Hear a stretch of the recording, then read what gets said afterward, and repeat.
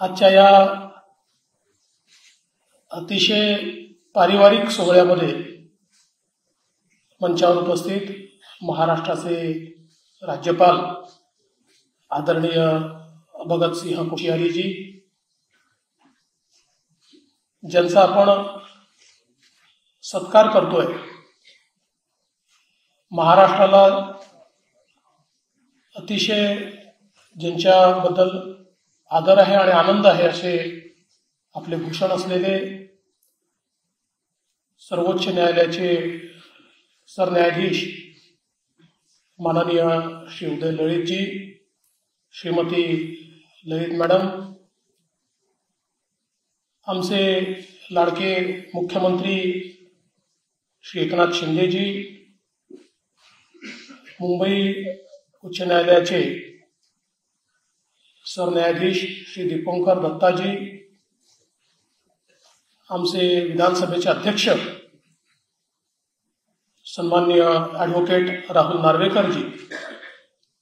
इथे सोलापूरच्या सुपुत्राचा सत्कार होत असल्यामुळे सोलापूरहून विशेष उपस्थित झालेले माजी मुख्यमंत्री आणि माजी केंद्रीय गृहमंत्री आदरणीय सुशीलकुमार शिंदेजी जावेद अख्तर साहेब आमचे मंत्रिमंडळातले सर्व सहकारी विशेष या सत्काराकरता उपस्थित असलेले बॉम्बे हायकोर्टचे सर्व आदरणीय न्यायमूर्ती सर्व ज्येष्ठ वकील मंडळी विविध क्षेत्रातील या ठिकाणी उपस्थित असलेले मान्यवर आणि उपस्थित भगिनी आणि बंधूंना. आज अतिशय आपल्या सर्वांकरता हा आनंदाचा क्षण आहे की आपल्या महाराष्ट्राचे सुपुत्र असलेले ललित साहेब हे सरन्यायाधीश झाल्यानंतर त्यांचा सत्कार या राजभवनमध्ये माननीय राज्यपालांच्या हस्ते होतोय.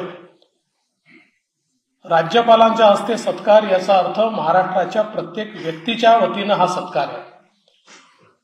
महाराष्ट्र आज अतिशय गौरवान्वित आहे की ललित साहेबांसारखे त्यांचे सुपुत्र हे अतिशय सक्षमपणे सरन्यायाधीश पदाची जबाबदारी सांभाळत आहेत.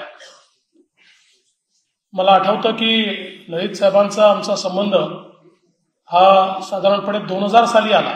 खर तर त्यांचा आपण सत्कार हा यापूर्वीच ठरवला होता पण इंग्लंडच्या महाराणींचं दुःखद निधन झाल्यामुळे आपल्याला तो पोस्टपोन करावा लागला. त्यावेळेस सत्काराच्या वेळी मी कथा कदाचित सांगितली नसती. कारण अलीकडच्या काळामध्ये मला असं वाटतं की जे वातावरण आपल्याला पाहायला मिळतं त्या वातावरणामध्ये सरन्यायाधीशांची कधीतरी ओळख होती. हे सांगितलं तरी देखील काही लोक टीका करतात. आणि म्हणून मी त्यावेळेस सांगितलं नसतं पण आज मला सांगायला आनंद वाटतो की सन दोन हजार साली सुप्रीम कोर्टामध्ये आमची एक महानगरपालिकेची केस होती आणि त्यावेळेस ललित साहेब आमचे वकील होते. आणि त्यांचा जो सुप्रीम कोर्ट एन्क्लेव्ह त्या भागामध्ये आता मला त्या भागाचं नाव लक्षात नाही पण तिथे मला वाटतं मयूर विहार बहुतेक किंवा तिथे सरांचा जो काही फ्लॅट होता तिथे आम्ही तासन तास जाऊन त्यावेळी बसायचो. आणि सरांच्या फिटनेसचा राग हे आहे की त्यांच्या ऑफिसमध्ये सुप्रीम कोर्टाच्या जवळ त्यांचं ऑफिस होतं तिथे दिवसातनं किती वेळा गेलं तरी आम्ही लिफ्टनी वर जायचो आणि ते जिन्यानी वर जायचे. त्याच्यामुळे मला असं वाटतं की तेव्हाच माझ्या लक्षात आलं की यांच्या फिटनेसचा राग हाच आहे की हे लिफ्टचा वापर करत नाहीत. आणि तेव्हा ते जसे दिसायचे आज बावीस वर्षानंतरही ते तसेच दिसतात हे देखील मला असं वाटतं की अत्यंत महत्वाचं आहे. खरं म्हणजे त्यांच्या कार्याबद्दल आपल्या गौरवपत्रामध्ये अनेक गोष्टी समोर आल्या आहेत. आणि खऱ्या अर्थानं अतिशय कमी लोक अशी आहेत की जे थेट सुप्रीम कोर्टचे जज म्हणून एलिव्हेट झाले परंतु दिल्लीमध्ये त्या ठिकाणी जाऊन सुप्रीम कोर्टामध्ये एक अतिशय अभ्यासू आणि ज्ञानी अशा प्रकारचे वकील म्हणून एक त्यांची प्रतिमा तयार झाली. आणि अनेक वेळा कोर्ट्सलाही ज्यावेळेस वाटायचं की एमएकस क्युरे म्हणून कोणाला अपॉइंट केलं पाहिजे किंवा कोर्टाला कोण मदत करू शकतं कोण त्रयस्थपणे गोष्टींकडे पाहून न्यायदानाच्या दृष्टिकोनातनं कोर्टाला मदत करू शकतं त्यावेळी ललित सरांचं नाव हे प्रामुख्यानं समोर यायचं. आणि म्हणूनच अनेक लँडमार्क केसेसमध्ये त्यांनी एमएकस क्युरी म्हणून काम केलं त्यानंतर अनेक लँडमार्क केसेसमध्ये त्यांनी जज म्हणून देखील न्यायमूर्ती म्हणून देखील एक मोठं योगदान दिलं आहे आणि हे सगळं करत असताना सगळ्यात महत्वाचं जर काही असेल तर त्यांची नम्रता आहे. एवढे मोठे निष्णांत वकील झाले त्याच्यानंतर सुप्रीम कोर्टमध्ये थेट जज झाले चीफ जस्टिस झाले तरी त्यांची नम्रता ही आपल्याला मला असं वाटतं नेहमीच या ठिकाणी पाहायला मिळाली. आणि म्हणूनच आपल्या सगळ्यांची इच्छा होती की सरांचा सत्कार व्हावा महाराष्ट्राच्या सुपुत्राचा सत्कार व्हावा आणि माननीय आमच्या बॉम्बे हायकोर्टने सत्कार घेतला त्याच्या दुसऱ्या दिवशी आमचा सत्कार होता. पण दत्ता साहेबांचं प्रेम जास्ती असल्यामुळे त्यांचा सत्कार होऊन गेला आणि आमचा सत्कार राहून गेला. पण आज तो होतोय. आणि मला असं वाटतं की आम्ही स्वागताचा सत्कार करू इच्छित होतो. पण आता हा सत्कार आहे पण मी याला निवृत्तीचा सत्कार म्हणणार नाही because once a chief is always a chief त्याच्यामुळे ते जरी आता पुढच्या काळामध्ये निवृत्त होत असले तरी त्यांच्यासारख्या व्यक्तीचं मार्गदर्शन हे न्यायदानाची प्रक्रिया अधिक सुलभ व्हावी ती अधिक ऍक्सेसेबल व्हावी ती अधिक वेगवान व्हावी याकरता निश्चितपणे आपल्याला मिळू शकेल. त्यांनी त्यांच्या या छोट्या टेन्युअरमध्येही अनेक सर्वोच्च न्यायालयामध्ये प्रयोग केले आणि जजेसनी जास्त केसेस ऐकाव्यात जास्त केसेस निकाली काढाव्यात रोस्टरमध्ये ट्रान्सपरन्सी यावी असे अनेक मुद्दे हे या टेरिओरमध्ये त्यांनी सुरू केले. मला असं वाटतं की अशा प्रकारच्या ज्या प्रॅक्टिसेस सुरू होतात त्या पुढे कंटिन्यू झाल्यामुळे निश्चितपणे न्यायदानाच्या प्रक्रियेमध्ये एक मोठं परिवर्तन देखील आपल्याला पाहायला मिळतं. खरं तर राज्याचा विधी व न्यायमंत्री म्हणून देखील ज्यावेळेस मी सगळा आढावा घेतो त्यावेळेस आपल्यासमोर खूप चॅलेंजेस आहेत आणि विशेषतः न्यायदानाची प्रक्रिया ही वेगवान कशी करता येईल आणि त्याच्यामध्ये क्वालिटी देखील कशा प्रकारे आपल्याला आणता येईल हा एक अत्यंत महत्त्वाचा मुद्दा आहे की ज्याच्यावर येत्या काळामध्ये आपल्याला निश्चितपणे वर्किंग करावं लागेल.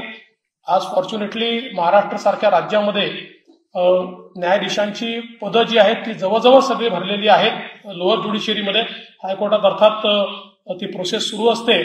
पण मी गेल्या काही दिवसात बघत होतो आणि त्यावेळी माझ्या असं लक्षात आलं की साधारणपणे फक्त पासष्ट पदं ही रिक्त होती पण त्याच्यावरही नियुक्त्या झाल्या होत्या आणि आमचे त्या त्या लेवलचे जे काही जजेस आहेत ते लवकरच जॉईन होणार होते. त्यामुळे आता जजेसची कमतरता नाहीये. इन्फ्रास्ट्रक्चरच्या संदर्भात जी काही मागणी उच्च न्यायालयाकडनं येते ती सगळी मागणी आम्ही पूर्ण करतो आणि आमच्या मुख्यमंत्र्यांनी तर आल्यानंतर हा निर्णय केला. की जी काही वन पर्सेंट ऑफ आपल्या uh, बजेट अशी जी काही मागणी होती तर ती पण पूर्ण करायची. आम्ही जवळ त्याच्या जवळपास होतो पण यावर्षीपासनं तीही मागणी पूर्ण करून मोठ्या प्रमाणात हे इन्फ्रास्ट्रक्चर तयार करण्याच्या संदर्भात आम्ही आता कामाला सुरुवात करतोय. पण हे सगळं होत असताना सगळी जी काही त्या ठिकाणी प्रक्रिया चालते ती प्रक्रिया चालवण्याची जी काही गती आहे ती गती कशी वाढवता येईल याचा विचार देखील निश्चितपणे आपल्याला करावा लागेल. आणि त्यात ललित साहेबांसारख्या अत्यंत अनुभवी लोकांचं मार्गदर्शन हे येत्या काळामध्ये आम्ही निश्चितपणे घेऊ. आमचे मुख्य न्यायाधीश दीपंकर दत्ताजी यांची यांचा फार प्रयत्न होता आणि तो अजूनही आहे की आपल्या जो बॉम्बे हायकोर्ट आहे त्याचं नवीन संकुल हे बांद्राला व्हावं. आणि आता मला त्यांना सांगताना आनंद वाटतोय की तुमच्या मनाप्रमाणे आम्ही सगळ्या गोष्टी त्यातल्या आता सॉल्व्ह केलेल्या आहेत. बरोबर ना सौनिक साहेब? सगळं सॉल्व्ह झालं ना आता? काही आता उरलेलं नाहीये. त्याच्यामुळे पुढची जी प्रक्रिया आहे ती आता आपण लवकरच या ठिकाणी करू. आणि येत्या काळामध्ये बॉम्बे हायकोर्टला एक अतिशय चांगलं अशा प्रकारचं संकुल हे मिळेल. अर्थात जुनी बिल्डिंग खूप सुंदर आहे पण ती आता अतिशय अपुरी पडते. आणि अनेक वेळा त्या ठिकाणी ऍक्सिडेंट होण्याची देखील संभावना असते. आणि म्हणून हे काम देखील आपण निश्चितपणे हातामध्ये घेऊ.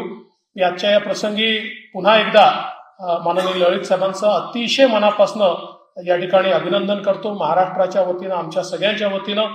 त्यांना खूप खूप शुभेच्छा देखील देतो आणि येत्या काळामध्ये त्यांचं मार्गदर्शन हे आम्हाला सातत्याने मिळत राहावं आणि सामान्य माणसाला न्याय मिळण्याच्या दृष्टीने काय काय बदल आपल्याला करता येतील या संदर्भात जे काही मार्गदर्शन त्यांचं मिळेल त्यानुसार पुढच्या काळामध्ये आम्ही निश्चितपणे वाटचाल करू हा विश्वास व्यक्त करतो आणि या कार्यक्रमाच्या निमित्ताने पुन्हा एकदा त्यांचं अभिनंदन करून माझे दोन शब्द संपवतो. जय हिंद जय महाराष्ट्र.